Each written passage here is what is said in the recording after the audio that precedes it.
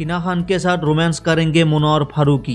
Shooting से viral हुआ video. जी हाँ मनोहर के हाथ एक बड़ा प्रोजेक्ट लगा है, जिसमें वो टीवी एक्ट्रेस हिना खान के साथ काम करेंगे।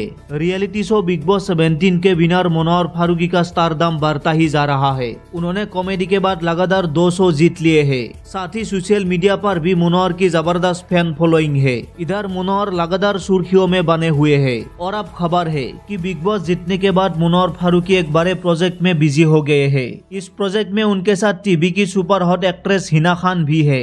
खबर है कि मनोहर फारूकी हिना खान के साथ एक म्यूज़िक वीडियो में नज़र आने वाले हैं। दोनों स्टार ने इसकी शूटिंग भी शुरू कर दी है। मनोहर फारूकी और हिना खान ने एक म्यूज़िक वीडियो के लिए हाथ मिलाया है। दोनों इसकी शूटिंग के लिए कोलकाता में है। हिना और मनोहर की कुछ तस्वीरें सोशल मीडिया पर वायरल हो रही है। दोनों बेंगोली अवतार में नज़र आ रहे हैं, जहाँ हिना ट्रेडिशनल बेंगोली साड़ी पहने नज़र आई। वही मनोहर फारूकी सफ़ेद रंग के धोती कुर्ता में नज़र आए। सेट पर दोनों एक दूसरे के साथ मस्ती करते हुए नज़र आ रहे हैं। इंस्टाग्राम स्टोरी पर एक्ट्रेस हिना खान ने कोलकाता की कुछ तस्वीरें शेयर की है। उन्होंने वहाँ के लोकल फ़ूड से लेकर अलग अलग खाने की तस्वीरें भी फैंस के साथ शेयर की है। फैंस को अब मनोहर फारूकी और हिना खान की इस रोमांटिक म्यूज़िक वीडियो का बेसब्री से इंतज़ार है। फ़िलहाल मनोहर फारूकी और हिना खान की जोड़ी आपको कैसी लगी? आप हमें कमेंट बॉक्स पर बताइए और इसे अपडेट के लिए हमारे चैनल को सब्सक्राइब करें।